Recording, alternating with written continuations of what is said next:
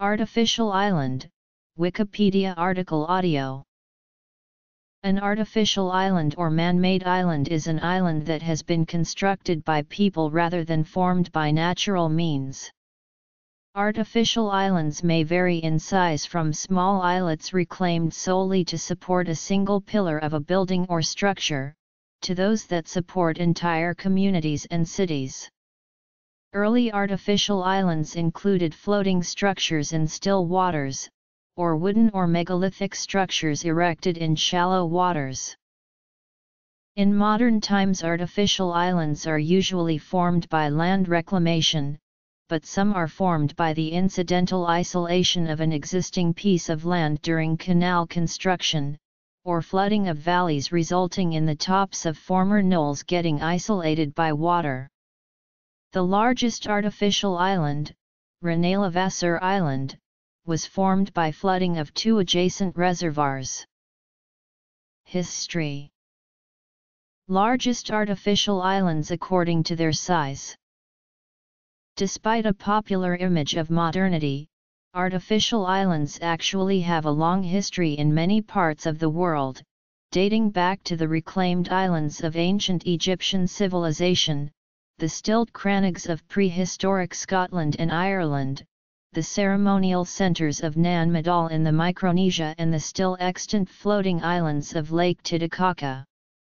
The city of Tenochtitlan, the Aztec predecessor of Mexico City that was home to 500,000 people when the Spaniards arrived, stood on a small natural island in Lake Texcoco that was surrounded by countless artificial Chinamitl islands.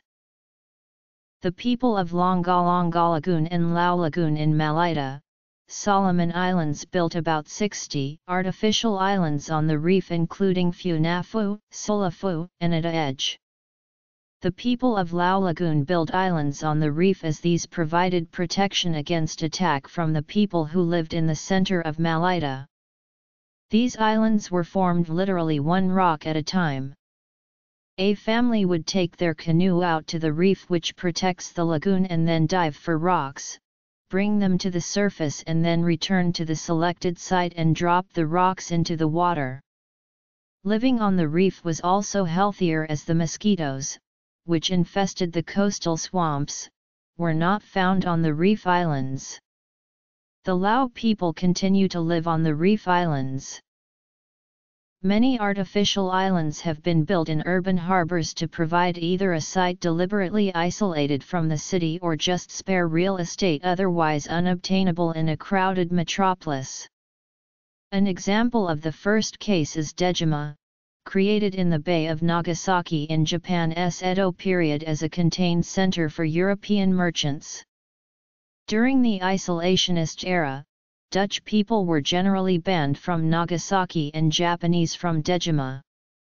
Similarly, Ellis Island, in Upper New York Bay beside New York City, a former tiny islet greatly expanded by land reclamation, served as an isolated immigration center for the United States in the late 19th and early 20th century, preventing an escape to the city of those refused entry for disease or other perceived flaws, who might otherwise be tempted toward illegal immigration.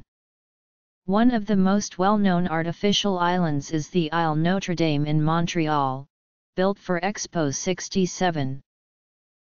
The Venetian Islands in Miami Beach, Florida, in Biscayne Bay added valuable new real estate during the Florida land boom of the 1920s. When the bubble that the developers were riding burst, the bay was left scarred with the remnants of their failed project. A boomtown development company was building a seawall for an island that was to be called Isola di Lolando but could not stay in business after the 1926 Miami hurricane and the Great Depression, dooming the island building project. The concrete pilings from the project still stand as another development boom roared around them, 80 years later. In 1969, the Flevopolder in the Netherlands was finished, as part of the Zuiderzee works. It has a total land surface of 970 km 2, which makes it by far the largest artificial island by land reclamation in the world. The island consists of two polders Eastern Flevoland and Southern Flevoland. Together with the Noordoost polder, which includes some small former islands like Urk, the polders form Flevoland, the 12th province of the Netherlands that almost entirely consists of reclaimed land. Modern projects The Pearl Qatar is in the north of the Qatari capital Doha, home to a range of residential, commercial and tourism activities. Qanat Quartier is designed to be a virtual Venice in the Middle East. La Lusail and large areas around RAS Laffan, Hamad International Airport and Hamad Port. The UAE is home to several artificial island projects. They include the Yas Island, Augment Islands to Saadiyat Island, Khalifa Port, Al Reem Island, Al Lulu Island, Al Raha Creek, Al Hudayriyat Island, Palm Islands projects, and the world, the universe, and the Dubai waterfront. Of all these, only the Palm Jumeirah is complete and inhabited so far. Also, the Burj Al Arab is on its own artificial island. The universe, Palm Jebel Ali, Dubai waterfront, and Palm Deira are on hold. Netherlands China has conducted a land reclamation project which had built at least seven artificial islands in the South China Sea totaling 2,000 acres in size by mid-2015. One artificial island built on Fiery Cross Reef near the Spratly Islands is now the site of a military barracks, lookout tower, and a runway long enough to handle Chinese military aircraft. Kansai International Airport is the first airport to be built completely on an artificial island in 1994, followed by Chubu Centrair International Airport in 2005, and both the new Kitakyushu Airport and Kobe Airport in 2006, and Ordu-Giresun Airport in 2016. When Hong Kong International Airport opened in 1998, 75% of the property was created using land reclamation upon the existing islands of Chek Lap Kok and Lam Chau.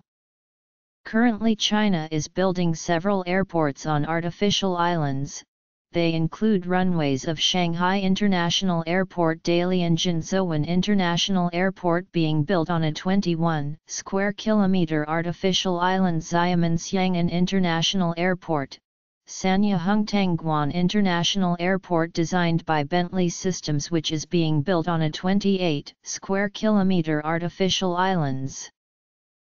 A view of Kansai International Airport from space. Qatar. Palm Jumeirah in Dubai. UAE A closer view of the Palm Jumeirah. China North Star Island, an artificial island for oil drilling in the Beaufort Sea. To prepare the artificial island, a large amount of sand is required. This preparation of sand may cause environmental pollution. For example, Singapore dredged 500 million tons of sand to prepare an artificial island. This sand removal caused desertification to a fishing town, having a bad effect on the ecosystem. Airports Under the United Nations Convention on the Law of the Sea Treaty, artificial islands are not considered harbor works and are under the jurisdiction of the nearest coastal state if within 200 nautical miles. Artificial islands are not considered islands for purposes of having their own territorial waters or exclusive economic zones, and only the coastal state may authorize their construction, however, on the high seas beyond national jurisdiction, any state may construct artificial islands. Gallery. Controversial side effect. Political status